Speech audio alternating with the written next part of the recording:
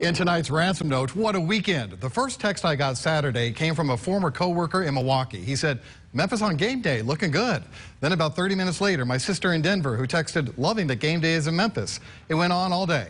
Out-of-town friends and family saying they were impressed by the turnout on Beale and the Liberty Bowl, including several people who've never been here saying, Memphis looks like a fun town. We need to come see you guys. I know there's negative chatter from some critics who say the hype showed our misplaced priorities. Give me a break. In a city that has to confront its negative truths far more than most on a daily basis, it's okay that we had just one beautiful fall day to have some fun and celebrate what's good about where we live. Because it was back to reality today with stories about the city canceling Thanksgiving dinner and fraudulent grass cutters. Join the conversation by email or my Facebook and Twitter pages.